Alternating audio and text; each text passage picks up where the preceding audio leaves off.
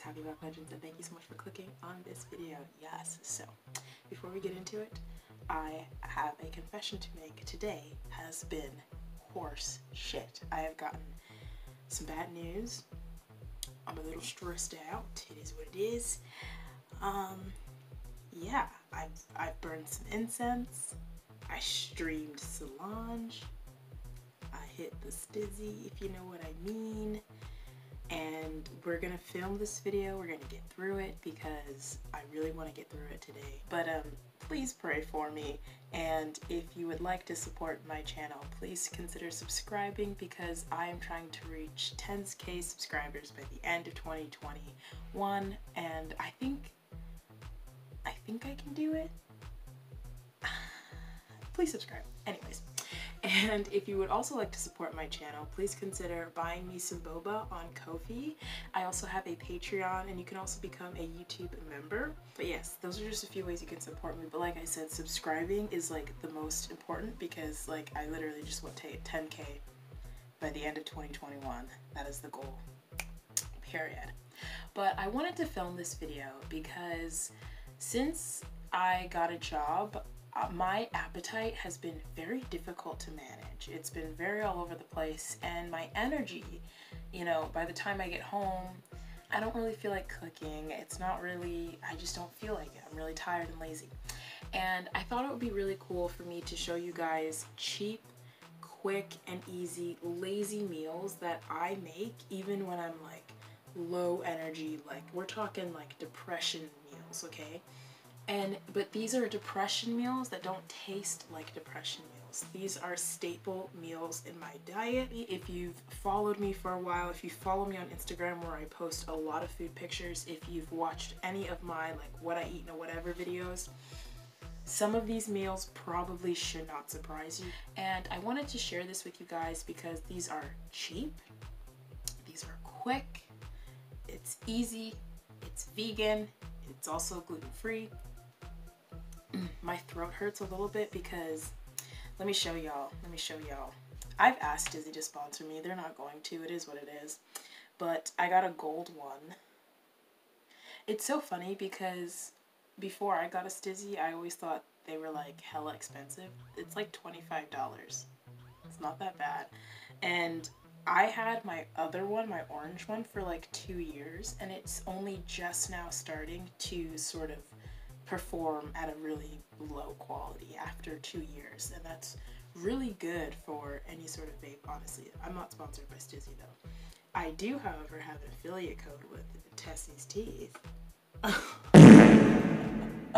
I'm dying. Um, this is actually a product that i've been using for years like so way before i even like had a YouTube channel.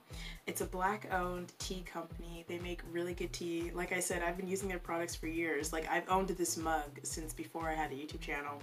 I have an affiliate link with them. So if you are interested in supporting a black owned tea company, the link for that is down below. Their mint tea, it's, it's what I'm drinking. It's vegan and it's so friggin' delicious. And like I said, like your girl was hitting the stizzy and your throat's a little bit, my throat's a little, you know, it is what it is. So, the first staple meal in my diet, oatmeal. Oatmeal, oatmeal, oatmeal, oatmeal, oatmeal, oatmeal. I eat so much oatmeal, it's ridiculous. Oats are really fucking cheap. You can use oats to make oat milk. You can use oats to blend them and use um, as an as a excuse me gluten-free um, not fiber gluten-free flour um, oats are very versatile. They're very delicious. And I really like to doctor up my oats. I like to put fruit and I like to put some sort of protein.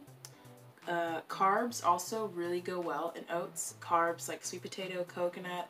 Typically I love to do cashews. I like to make chocolate oats. A lot of times I put blueberries in my oats and it turns my oats purple so it gives it this really cool like look. Like I mentioned, these are just a few ideas of things you can do with oatmeal.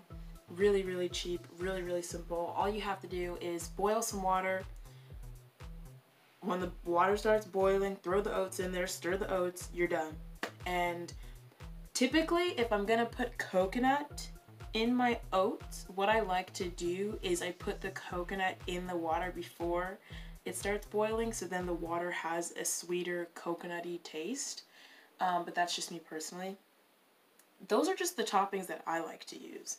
You can use maple syrup. You don't have to do all the shit that I do. You can do whatever you want. Um, but oats, so cheap, so easy. Oats are very easily accessible. I mean, oats, like as a poor person, I've eaten so much oats. Like I would, I used to go to the Dollar Tree and I would get like one container of oats and live off of that for like a week and that would be it. Like boom bam boom sam. You know what i mean? The second meals uh, that i make consistently are tacos. I grew up in socal and tacos have been a consistent part of my diet for many many years. I love tacos.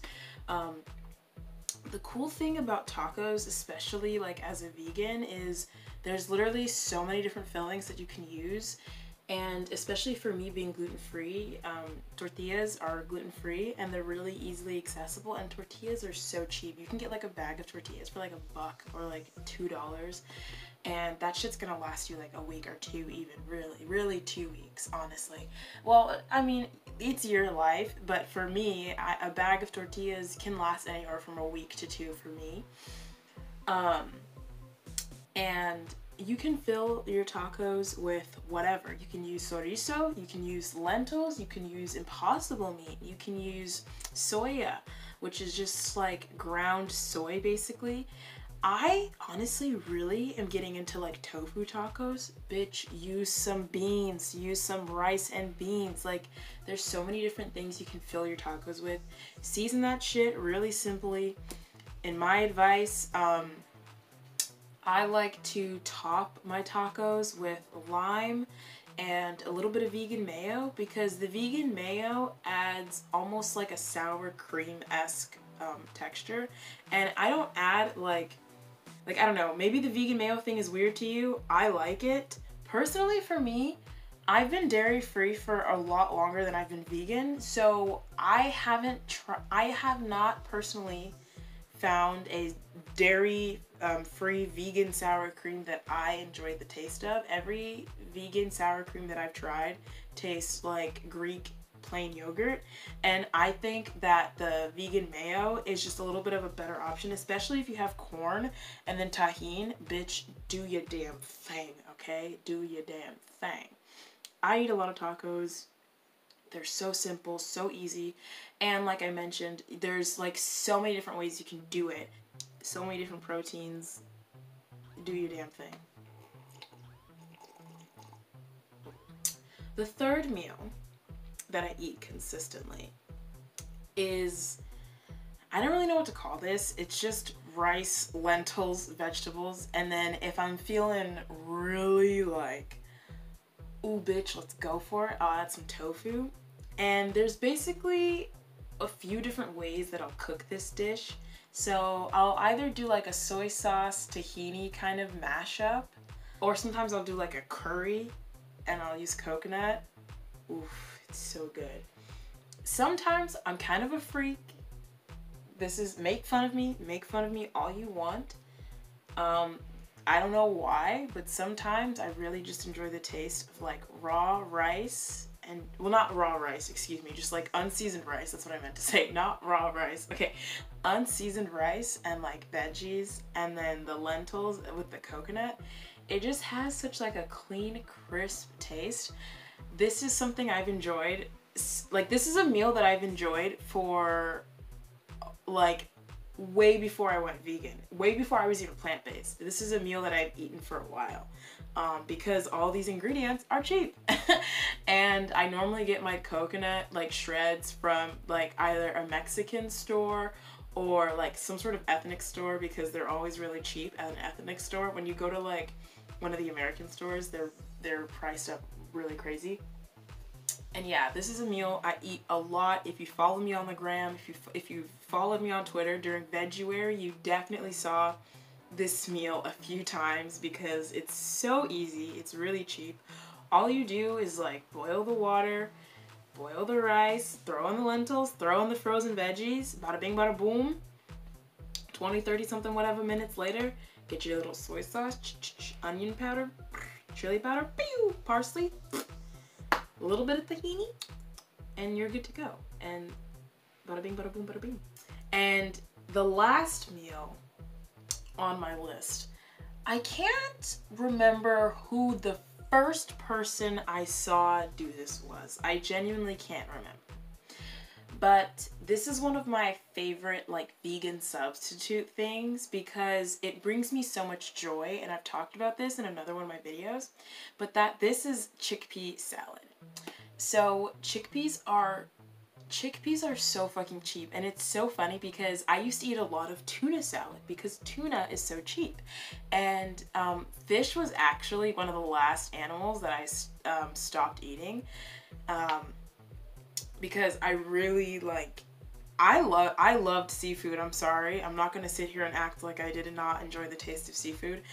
I was always like dumb whenever whenever people said they didn't like seafood I was convinced that the only seafood they've had is probably like white American, like bumfuck, nasty ass, poorly seasoned, dry seafood. They've probably never had any sort of Creole food. They've probably never had any soul food.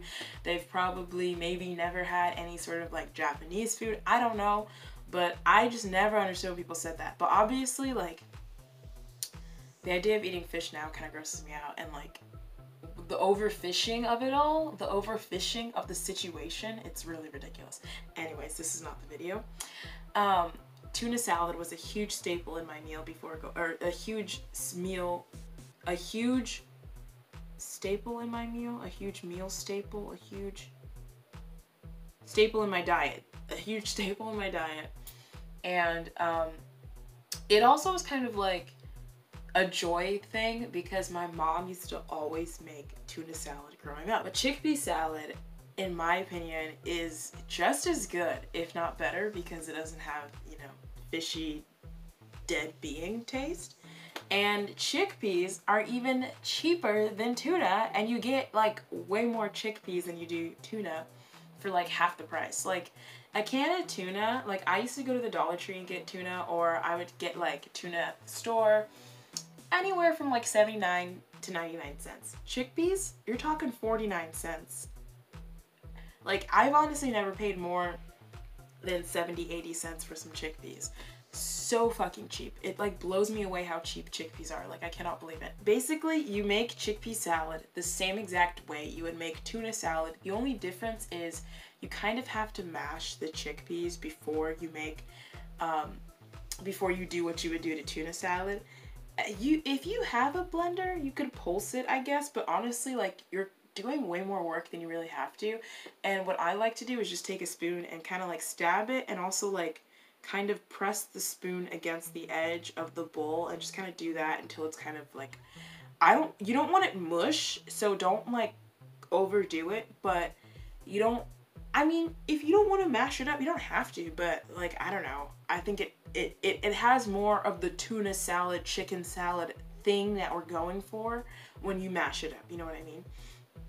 And then, like I said, you do the same exact thing that you would do to tuna salad. So typically for me, I do vegan mayo and then some sort of citrus, typically lemon. I also like to do lemon pepper. Um, and then onion powder, garlic salt, um, parsley, always parsley, chili powder. One thing I really like to do is add, um, normally if I have jalapeno, if I have jalapenos, I'll use jalapeno juice. But right now I have pepperoncinis, and so pepperoni juice is honestly really nice as well.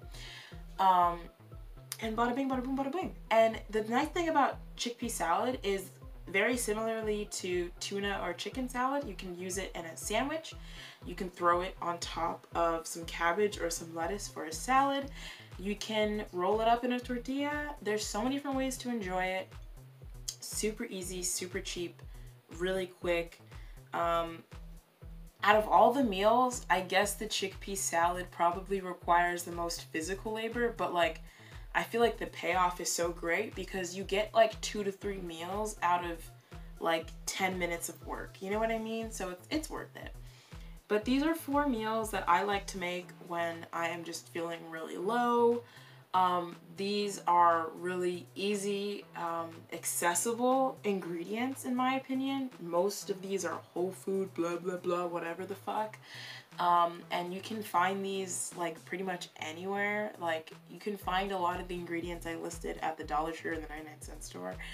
Um, so there you go. So if you are interested in adding a few vegan meals into your life, I hope you consider adding some of these into your life. If you decide to cook any of these, please um, take a picture and tag me either on Instagram or Twitter. I also have a Tumblr if you're interested in that. That's also linked down below. Like I mentioned earlier, if you would like to support my work, you can consider buying me some boba on Ko-fi or subscribing to my Patreon or becoming a YouTube member. Um, all my links are down below, including the affiliate link for Tess Tessie's Teas. But um, anyways, y'all, I'm gonna get going. Um, please pray for me, light some incense, meditate, yoga, talk to Buddha, Allah, whoever you pray to, talk to them and let them know about me and let them know that I would appreciate their holy magic, whatever. Hey, I could use some. Sprinkle it on me. Whoever, whomstever. I'm open. I, hey, I am pan spiritual. Okay? I do not discriminate against any deity. I will consider any one of them. So, come on. Come on. Come on. I'm gonna get going, y'all. As always, I hope you have a wonderful day. Um, a huge thank you to the sponsors of my of this video, which are my patrons and my YouTube members. Um, as always, y'all, don't forget to like, comment, subscribe, and all that jazz. And I will see you in the next one. Alrighty, y'all. Bye.